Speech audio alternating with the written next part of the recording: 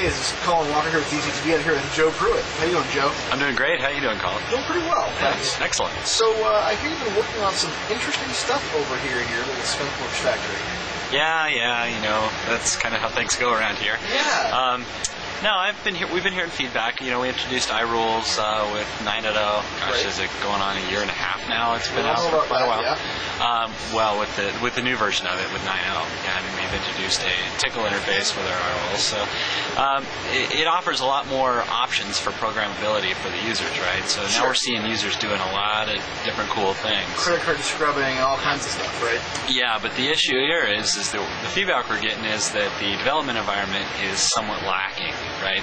It's it's a you know you've got a text box and the GUI to go and, and type in sometimes somewhat complex rules. Sure, because some of them are pretty easy. Yeah. But some get up to, what, hundreds of lines. Yeah, absolutely. So that's pretty rough for So I've got box. users doing different things and uh, cutting and pasting to offloaded editors and back and forth. And so we just want to. I was thinking, okay, how, how can we go about uh, uh, streamlining this and make this a little more, uh, a little more fun for the users to to um, work in this environment? Right, because I mean, it can make it easier for them to build things. Get Yeah. more responsive stuff, right? So that's Yeah. good. Yeah, so so I've been looking around for um, for uh, Windows-based controls that, that have built-in um, you know syntax highlighting and that kind of thing. Sure. And the downside is is that there haven't been readily available ones with built-in support for the Tcl language. Oh, right? okay. So um, I- you know, I looked around, and who knows? Last month or so, I I found uh, one of my favorite uh, editing controls, the Scintilla control, um, has uh, built-in Tcl Lexer now. So um, I was able to take that and um, slap a little GUI around it and do a lot of fun stuff with. Uh, uh, typing and editing and autocomplete and that kind of So thing. they finally updated the controls so that Yeah. So we can make use of the yeah we can make use of the uh, the built-in Tcl formatting and colorizing Ah, very and, cool. and that kind of thing. So so What I, it allow you to do? I well I took that as an effort. Okay, well let's see what we can do. We'll try to fuse the iRules with something we can demonstrate with iControl, right? Sure. Because control provides a full mechanism for editing and creating rules and provisioning them. Yeah, that so let's sense. so let's build. Um, I figured I'll build a little Windows app to uh, to allow the users to do some iRule editing, but also allow them to do it live on the servers, but remotely from their machine. So it's a live editor. Absolutely, yeah. So it's not just a text box that you fill things in and drop it anymore. No. It's actually editing on the VIP. no, And no. it's a standalone client app. Absolutely, yeah. That's It's- pretty so it's yeah, it's a Windows app that you run and it brings up and it works just like any other code editor, right? You've got uh, I can walk you through a demo here in a minute. Do you know? Yeah, absolutely. Sure. Yeah, let's so, see it. Um, so well, here's the app. It's it's not too uh, uh, exciting looking from here, but what we've got is we've got an editing window here, and um, well, I'll kind of walk you through the demo, and we'll see how it goes. It gets a little more exciting as we move along. All right. Now, if I want to use an offline mode, let's say I don't have a big IP to connect to, Yeah. but I just want to do some validate, some checking and, and syntax highlighting and stuff like that for, Sure. for writing things offline. So the, the editor has the built-in um, Lexer and auto formatting support for the So you don't have to connect for it to work. You don't for for you to do just the syntax validation and and uh, well actually syntax validation you do need to be online for, but to be able to write your rules with uh, some of the features we've got here, I'll, I'll show you. I'll walk you through. Okay, sure. Let's say I wanted to create a rule. Um, now this is assuming I, I I know the language, right? So we're gonna we're gonna build a rule with an event. Now we've got autocomplete for all of our, our built-in languages, uh, all of our keywords, um, all of our F5 related keywords, and all of the Tcl keywords as well. So what, what did you do there? You started just to typed- type when. yeah, so it did it for me. I hit tab, it completes it, and then I put a space, and it shows you all the different events that we support. Oh, interesting. So let's say I want to do uh, HTTP request, so I could just start typing. That narrows it down for you. Yeah. Okay. Let's uh, let's check. Uh, make this rule check for the URI. So there you go. There's all your commands. Colon colon Wow. URI. So is that all the HTTP commands? Uh, it's got every Tcl command, every um, iRule command. That we Sure, but that list right there was HTTP, right? Everything that's prefixed with the string HTTP is, is Wow. selected. Yeah, you can go back and. So we've got a whole bunch of. So the whole list like in the wiki, right? Absolutely, yeah. All of these are um, tied into the wiki. Now, another cool feature about about this editor is it allows keyword highlighting and hot clicking. So the next logical step is tying in all of our keywords to our documentation, right? So Hot clicking. Oh, Yeah. so that means it takes you to the docs. yeah, absolutely. Yeah. So so uh, if I've got want to know, let's say I'm writing something I know I want to do about the URI, Sure. but let's say I'm like, oh, what exactly is in there? Or let's say I'm looking for a command for HTTP header. Okay. This header takes several arguments, um, such as pulling out different types of headers. Sure, it's not so simplistic. So all of the keywords now are, are hot clickable. Oh, so if are I, links. Yeah, so if I click on HTTP header, it'll take it to our take you to the documentation Look on our server for the wiki. Yeah, which And that's, shows. that's the live wiki page, right? yeah, this, not. this takes you up to Dev Central. So all these links are live. This app is kind of communicating with Big IP for the iRules pieces, which I'll show you in a minute. Sure. But from the documentation aspect, links links you in. Every keyword is tied into the keyword documentation. And so that's on- the page on the wiki that has to do with all the different header stuff, which this is right there now. the HTTP header command. If I wanted to look at the HTTP request event, Yep. I can click on that and it'll take me to the documentation for the Wow. View. Nice. Um, Now, what about non uh, F5 commands? Does it do that too? uh huh. Yeah, I, I tied in. Um, we've got. Um, well, the Tcl commands, right? So Right. um, I've got links onto the SourceForge documentation for Tcl. So Okay. let's say you wanted to know about if. There you go. Here's if. You click on if, Yep. and it'll take you to the if documentation on so SourceForge. SourceForge. So this is the the uh, um, definitive Tcl reference. Right. So Is the one I use for sure. no, this is this is the project documentation for the Tcl project. Very Same cool. thing for pretty much all the Tcl commands. We've got switch. If you want to do switch command, find out how it works. It'll take you here. Let's see if uh, Has to load the page, of course. yeah, you know, SourceForge has been pretty slow lately. I think we need, they need to get a big IP. Always. Pushing. It'll be coming here in a sec. Always pushing. Um, so, that, so that's basically it. You got the documentation, and then one other one other feature that users have been asking about is what have we done to the Tcl language? To uh, there, there's several pieces of it that we have disabled. It's confusing if you're on a list. right? Yeah, so we we do document that in our wiki about the unsupported functions, Okay. but but be nice to throw in a little uh, uh, visual aids here as well. So we've sure. we created another um, keyword bucket for all of our um, disabled commands. So if you accidentally typed the command for uh, socket, bam. Oh, it turns red. yeah, so that's, so that tells us class that's for the table commands. that's a Tcl command, Uh huh. built-in Tcl command that we've disabled. So it's not going to work. Interesting. But this is a visual aid to show you that okay, tick socket So you know is not going to before work. even doing the syntax check and getting the errors and all that noise, right? Yeah, so you got to realize all of this stuff. This is um, just built into the editor. We're not talking to Big IP yet at all. So, So I can not even, not even connected yet. no. So you can go and create your rules, and, or you can type, start typing in, editing, doing keyword hiding, helping, and all of that. stuff. The real fun here goes um, when you start getting connected and you're live. Okay. Um, but uh, I guess one more one more feature here in the offline mode is that links to um, Dev Central, Yeah, our forums. If you want to go to the forums, you click here. It'll take you to Dev Central forums. Which we've all seen before. Yeah, and um, the iRules reference, which takes us to the iRules wiki, which where all those hot clickable links are take you as well. the same place, right? This is the index for it, Very cool. and the the um, Tcl reference at SourceForge. which, If there's still oh, it's Oh, back back now up. it works, now it Looks works. like Switch made it finally. That's a good thing. Um, so the, the thing is to make this app uh, as central of a hub as you need. You can get within clicks to any kind of help you want, That's or any cool. kind of support you need. So what happens when you start logging onto the big IP? All right, let's try it. So this again, like I said, is an iControl application. So.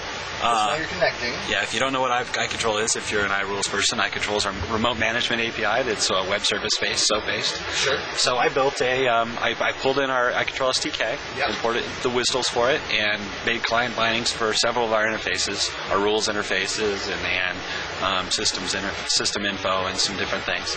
Um, the, behind this app, there's really not a whole lot of methods. Probably about 10 different method calls we make. So Oh, it's, okay. it's pretty minimal on what we need to do to get the job done. So there's not a whole lot of traffic being passed or anything. Yeah. So I'm going to talk to So Talk- logging into your big IP. I'm going to talk to my big IP here. The Um, boss. I like it. Yeah. Yeah, if you get the uh, Dilbert reference there. Yeah. Um, so what's going to show up here? What's going to show up here? These are all my iRules on my big IP. Okay. No so kidding. yeah. So here's the here's the different. Stop ones. hackers. It's a good one. Let's see what. Uh, Yeah, this is. I, I've got several ones I've been using for different kind of testing. Sure. Well, I, I kind of jumped the gun here, and it shows you some um, some of the highlighting you get. Uh, So is that I the can colors that you're getting? yeah, I can click through. So we've got um, all this is uh, configured locally um, with, within a configuration file, so it's overridable. But uh, you've got stuff some of my like custom colors. yeah, it's not built into the GUI, but it's on the it's on part of the installation if you want to go cool. and, and change that. Um, so we've got you know stuff like comments being able to be a little bit italicized, and just Italicized. and, and colored differently, Right. just to give you some more context of of where the different pieces of code are. And so you notice one blob of uh, very similar code. Right. So not looking at one huge text block Yeah, it makes you like in the GUI. it really makes you, and you can and you can see here from context where all of the the keywords are. Sure. And ev- again, everything's clickable. If I want to know about the log command in, it, in ours, it'll take you to log command. Wow. So you've seen seen all that. Um, I showed you the autocomplete. So if I wanted to do, if I wanted to issue a, like a log command here, all of our commands are built into the autocomplete feature. So I All of them? Yeah, every F5 uh, command, every Wow. I, every iRule command, and every Tcl command as well. Okay. So if you just start typing something, it'll it'll uh, try to determine what you want to do based off of the, the characters that you've typed in already. Nice. So it shows you the, for logging the different log facilities. Yeah, I was gonna say that's not even part of the command, really. That's just the other facilities command. Yeah. Um, we've also I've also done a few things with like string commands. So if you look at the Tcl string command, it'll sh- um, I've built in options for all the subcommands within the string command. Even though So it's not part of the actual command. right. So Wow. so if you want to do uh, string to lower, it's right, Right. there. Very I, nice. I know if you've And done you some iRules. too, right? Oh, yeah, yeah. You can um, like a string Nice. I like it. and just hit tab to complete it if you want. I like it. So that gives you kind of your. Uh, I, I kind of gone over the editing pieces of it. The color highlighting, the, the hot clicks, and and if you don't like these hot clicks, that's fine. You can turn them off. Everything's customizable. So if you want Oh, to. so those all the different options. If you want to turn off hotspots, nothing's clickable anymore. Oh, Sometimes that's a pain uh, but when you're editing. It makes it easier to highlight some stuff. Yeah, it's, you accidentally click on things. So you can turn that off. You can turn off autocomplete if you, for some reason, don't want it. Um, and all these are persistent um, when the app shuts down and restarts. Oh, good. Nice. Um, you can turn on stuff like uh, the full, like auto folding of sections of code. If you've got a, Now, wait, 200 I'll do that. line. Let me see that again. you've got like a 200 line, So that just folded that entire section based on the event, didn't it? yeah. And then if you want to, every every grouping, logical grouping of structure. code, yeah. Yeah. Uh, every control flow here has a way to uh, to expand and contract stuff. Now, you also said this did syntax checking, right? Yep. How does that work? Let's see. Let's turn off this full margin. Okay. There's le- once you play with it, you'll get you see all these different options. Sure. So what what happens with what we've got here uh, as part of the live features of this is, well, once you're editing it, you want to be able to save. You want to create new ones. You want to do that. So I'll, I'll walk you through starting a new one, Okay. then walk you through saving it and testing it and checking it. Perfect. Uh, if you click, let's say I want to create a new rule, click new rule. Create new iRule. Yeah, so we've we've built a hook into our online code share community. Okay, so this is giving a list of templates. Huh? So these are templates that are downloaded from Dev Central. looks like the code share. These are sections from our uh, Oh, samples from our code share, and Okay. and we'll get into sharing a little bit later. But Aha. the uh, the pieces here are these are approved rules that we have we have went through and validated and approved for sharing across our users. Okay. And So when you the stamp of approval sort of thing. and when you launch the app, it'll check it'll ping Dev Central. Are there any new templates available?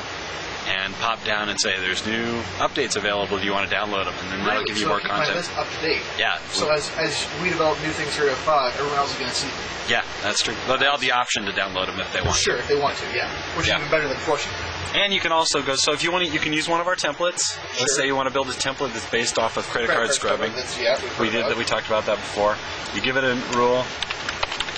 You give it a name, um, and you say my credit card scrubber, and it'll create that. You can also go through and let's say you just want to pick the events that you want and start with a template for Right, events. since you have a purpose you're going to build something for. So let's say I want to do something with all the HTTP events. You go like that, you Can select you just them, hold control to select those? just like you would any normal select Yeah. box. Just click down and drag it. Nice. Or you can control and click multiple Okay. ones. So there's several ways So- to create new new rules. This would create an empty rule with um, empty events. So let's say my events with the HTTP. It'll go through and build you a. So a that default- created a blank rule with a log statement inside each of those events that you had selected. Yeah, so it's just basically building a boilerplate around That's plate around the slick. event. You can also go through. I'll show you the, the credit card one. So you're selecting that So option there. yeah. Select this as a temp. So you got two choices when you're creating new ones. One from a from just from the event list, and one from our templates. Sure. So if I call this my CCN, let's make sure I don't have one called my CCN, and credit card scrubber, and then it will create a, a new event, new rule here. Now you'll notice that this is bolded and it's got a star next to it, which means it hasn't been saved yet. Oh, okay. So those are the new ones that you've added. Yeah. Okay. Um, so here's the. Uh, make this a little bigger here. Like you said, some rules can get quite large. See, and it's this kind of rule that makes this sort of editor necessary almost, right? Yeah. This, this is a lot of code to try and put in a text box. Look at that. Where's that regex there? Look at that regex. yeah, this is the regular. How many times would that wrap in a text box?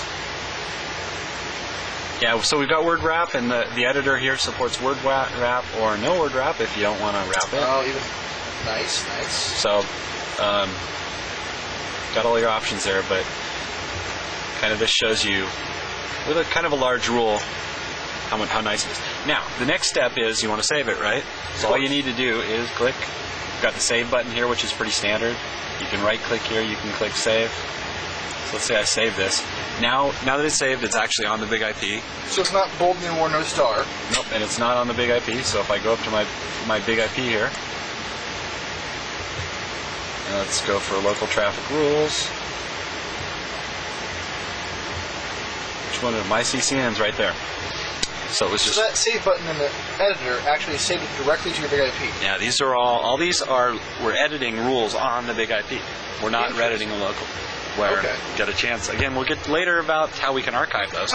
Okay. um, I'm jumping ahead of myself. Okay, okay. Well, it's cool stuff to see. But so. think of this as an alternate alternative to working on the big IP GUI. Right. So rather than from the command line or in the text file itself, or in You the- bring up this app, you can go edit, save rules. Now, um, another issue is like what we've had in the past. uh, uh, feedback from customers is, you know, once they compile them, edit failures or, or parsing failures or issues with the format of the rule, Yep. and how they get around the uh, the complexity of our error messages and things like Right, that. Right, because I've seen some of these error messages Yeah. myself, having done a iRule or two, and they just they don't always do anything for me. So I'm going to go.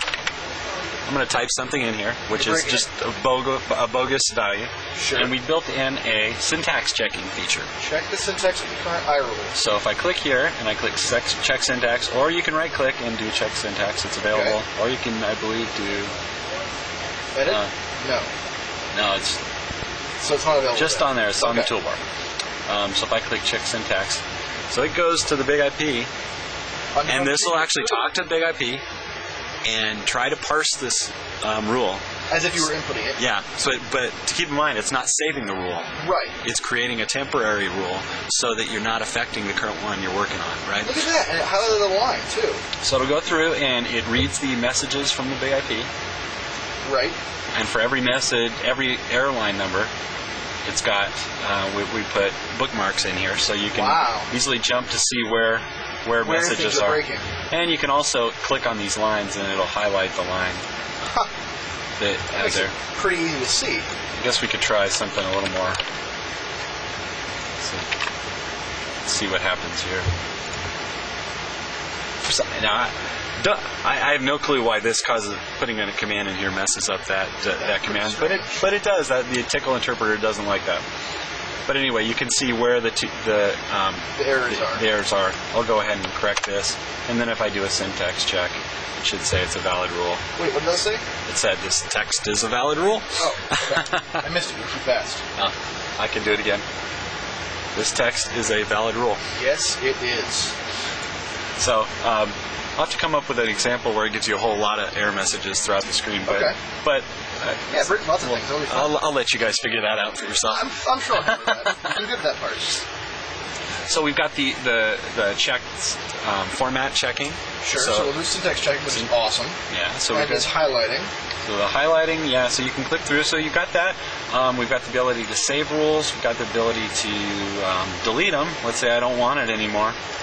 Once Uh, it's saved, right? The myCCN will go ahead and save it again, which is saving its server. And let's say I'm done with it. I can delete it. So that's and- not, not on your big IP anymore. And it's actually talked to the big IP using iControl saying delete this rule, gone. Very See you later.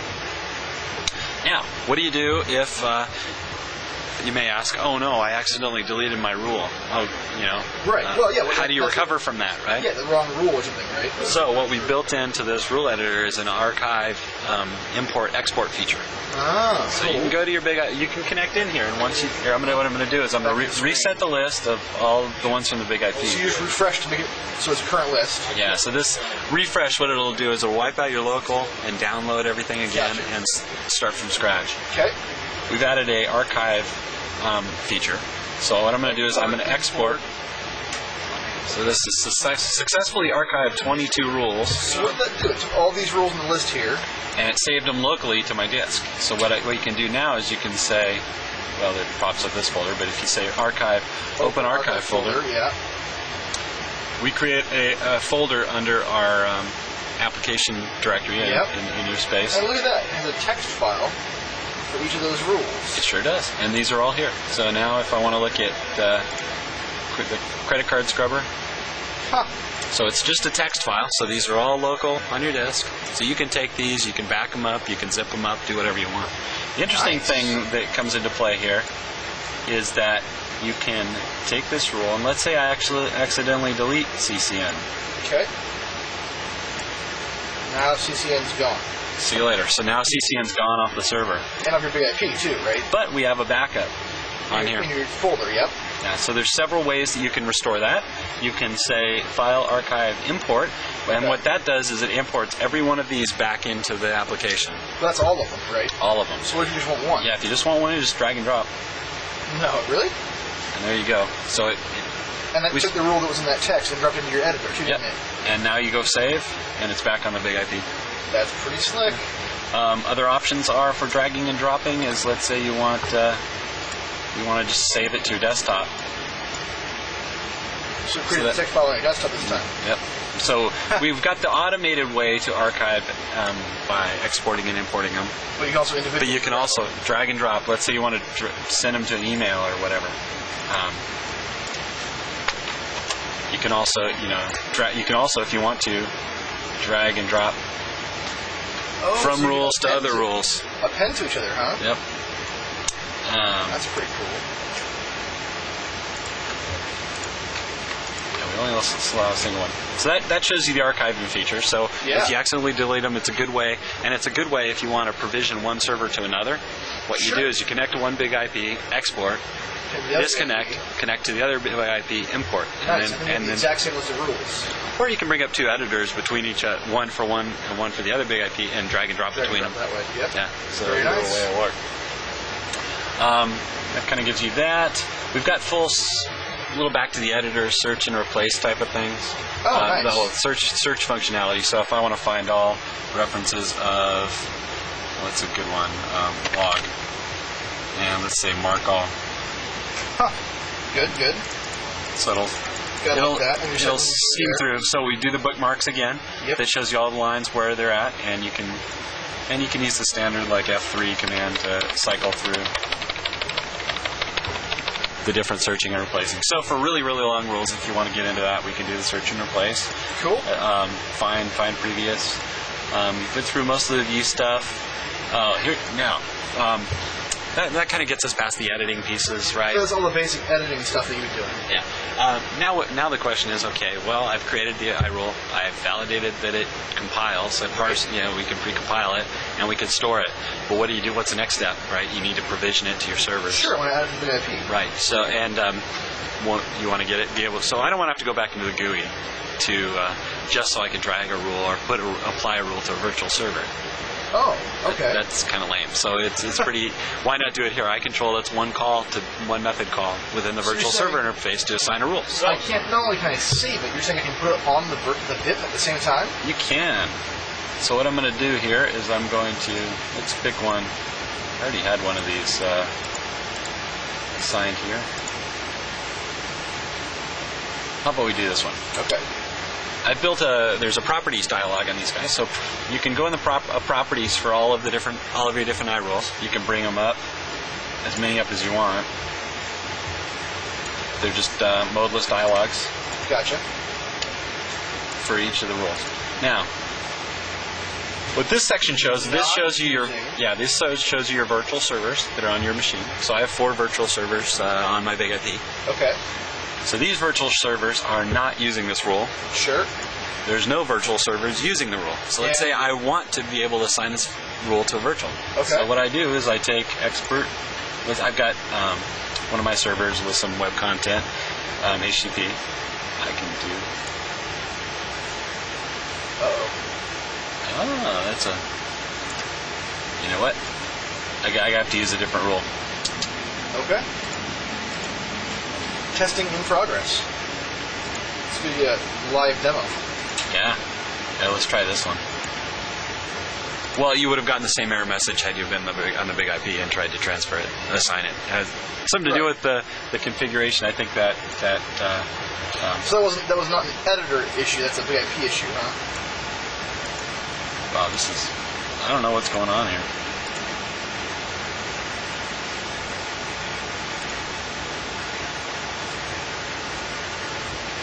I don't know what's going on. Uh oh. Um, well, we'll skip past this. I've got I, I just upgraded my big IP, so it Oh, may be an okay. issue with the Upgrade- latest thing on that. Theoretically, you can drag and drop. okay. I just did this earlier. Um, well, okay. Now, what you can do next is once you've got um, It's signed. once you've got them assigned. Once that works, Yeah, this is bizarre. Let's see. How about this one? the, the charm. This one's already got it. Okay, so this oh, one's got okay. So that was already working on it. this one's already got the um, something was going on with that rule. Um, so this one I've assigned this this uh, rule to this virtual Right. called Expert Revert HVP. Um, and vice versa, if you want to take it out of provisioning or back in, you can do that. Okay. What I've also added is uh, a hookup to our statistics interfaces. So we've got Statistics yeah rule? yeah. So most people don't know that you can quit. We've got built-in statistics for the rules. So what kind of stats can you track? Well, we can look at total executions, Okay. failures, um, aborts. But what's interesting, and not many people know about them, is the the built-in diagnostics we've got for CPU load on Timing, rules. right? Yeah, it's, it's called the timing command that's built in. So turning on timing lets you look and get a peek into the number of clock cycles that a rule is actually using. Nice. So we have questions about how do you optimize iRules and which way is better than or worse than another, right? Sure. Regular expressions versus ifs versus straight strings. more cycles than the other rule? Uh, yeah, yeah, and when you're talking about tens of thousands of connections a second, it, it makes a difference. So, Oh, yeah. so if you go and you turn on timing, you can Uh-huh. peek into the clock cycles. So what I can do In here, rule editor. yeah, oh yeah. So you'll see, I'm gonna I'm gonna pull a page down here, and you'll see that the executions are increasing.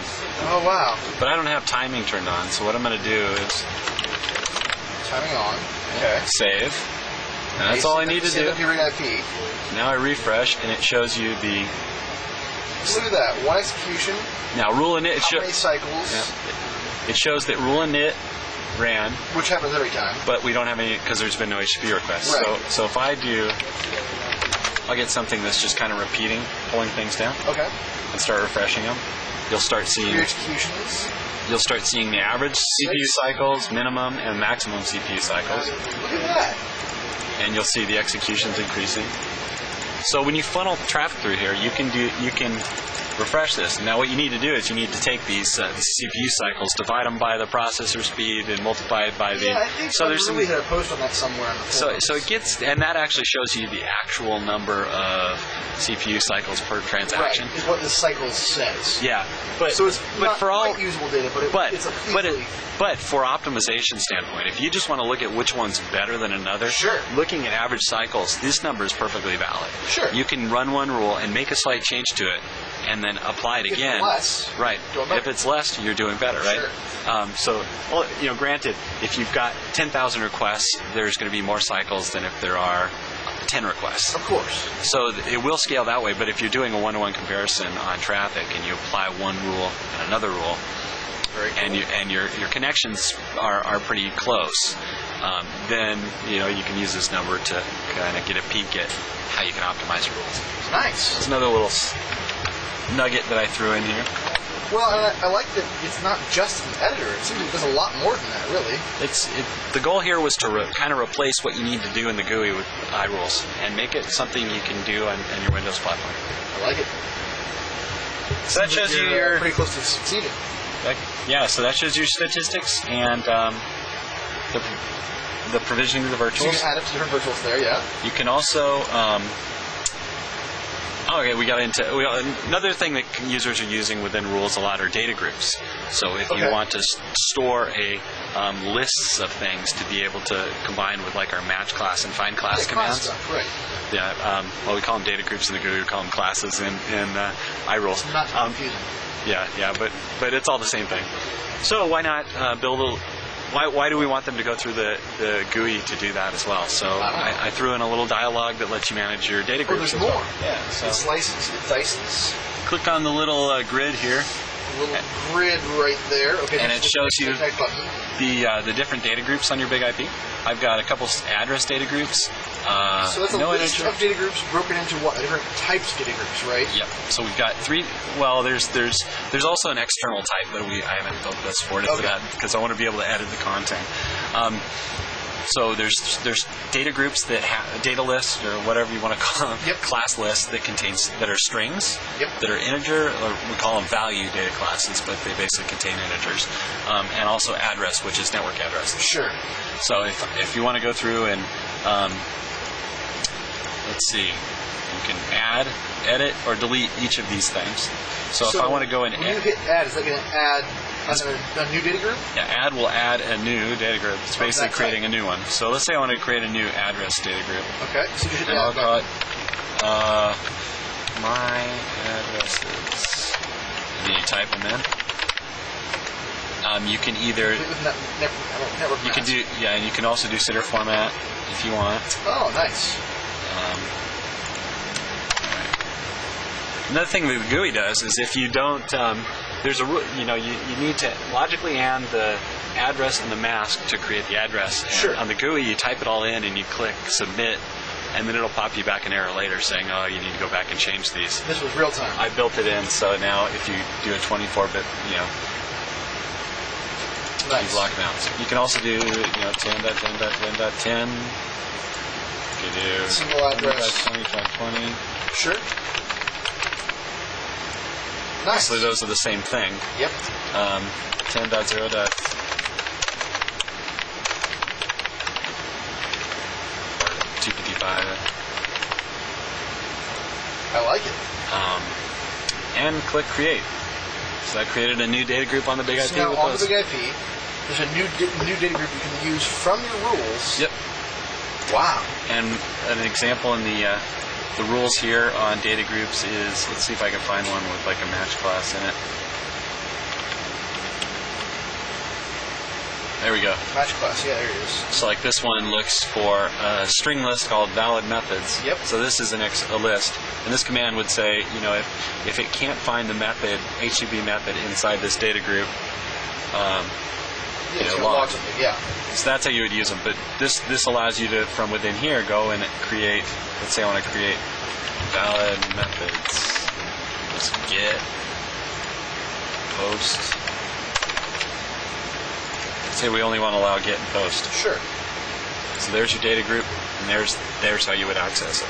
Huh. So you can go through here and you can edit data groups, the ones that exist already. So you can edit the content that's already there, And so I can take and delete get, or edit it. edit, we'll bring it back up here. Nice. Um, same type of thing. It's pretty straightforward. It's it's pretty similar to how the GUI works. I like it. But again, it allows you um, an illustration of how you just iControl to do this if you wanted to. But it allows you again everything you need for my rules to building them and deploying them, building it right into the That's app a lot of stuff crammed into one application. Let's see if there's anything else here. Uh, Oh yeah. Okay. Um, There's more? On the yeah, there's a few more things. Yikes. I don't know. Um, the we showed you earlier how on the new templates, Yep. when you go to create one, we tie it into our CodeShare community. Sure. Well, we've also well, we got to have a way to get that from the users, right? Okay. And have facilitate users to be able to share their rules with people and with us. So we built in uh, into the application itself the ability to for you to publish your rule if you want to. You can So try I- and share with the community from the application too? Yeah. So if I took this rule here, um, let's let's say this one, and I want to? Uh, let's pick one. I don't know. Let's say change server type. Okay. Let's say I, want, I I think this is a really cool rule that people can use. Sure. So I can good to me. I can take this and I can go through the web and contribute it to CodeShare Via the wiki, right? through through the wiki, Okay. or right from the uh, editor here. I've got a little button here. You, Share your iRule with See, the there's- Central community. the two little guys kind of Yeah. Sharing stuff. putting their arms around each other or something with a little sort of. You can right-click share as well. So what this will do is it launches the uh, a form that'll submit the Ah. rule to our server. So that has the rule. so I'll put my and some name description and stuff. and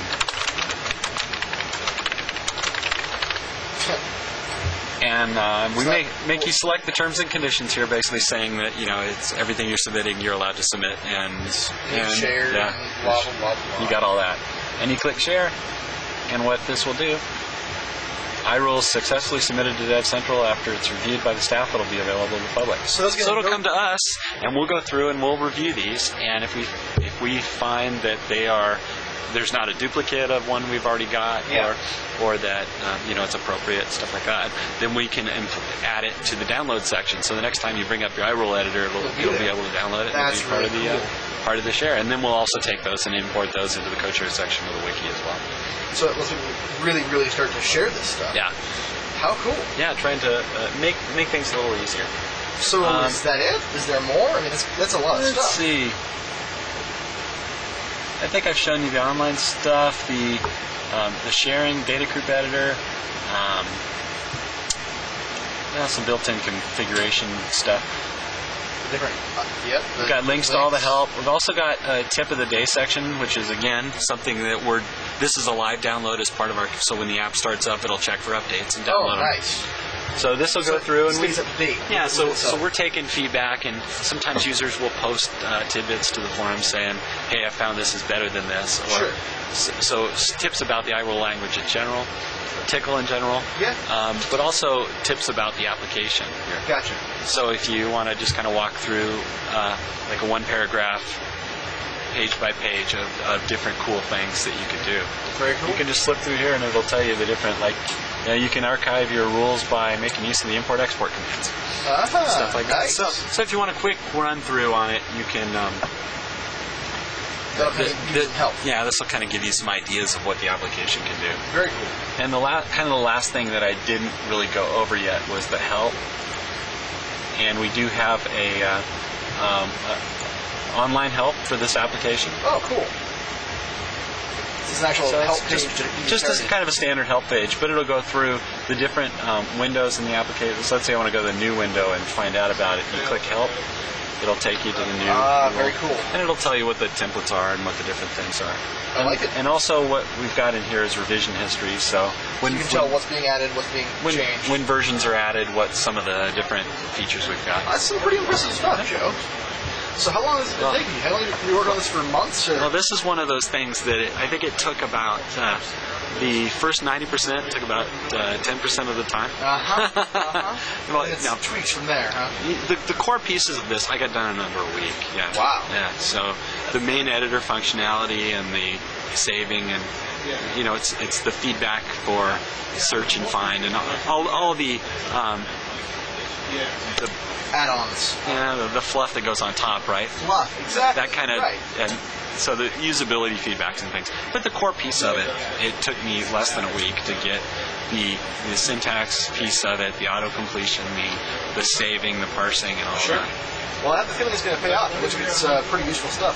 The last question I have is where can I get it? Oh, you can get it. Well, okay, there's several places you can get it. Okay. But number one is DevCentral. So come hop on to DevCentral, and um, we'll have links on there to, for you to be able to download it live off the web. section, huh? Yeah. Yep. And be able to download it live. You'll be able to download it and install from it. We also are supporting uh, Microsoft's ClickOnce deployment, which, if you don't know what that is, um, we're, we're working on that, and basically what happens is you can connect and install it from the web, and then every time you launch the app, it pings back to the server and asks if there are updates. Ah, so not just we've got the content update in the application, but The application the application itself. So if there's bug fixes that you report or things that um, you know want changed, or we make changes, or we find issues, we just throw that up on the server, and then the next time you launch up, it says, "Hey, there's a new version available. Do you want to download it?" Hey, sounds good to me. Yeah. Well, one more point is Yeah. that this is a uh, um, freely available application. Okay, we're so giving it away. charged for, No, we're not charged.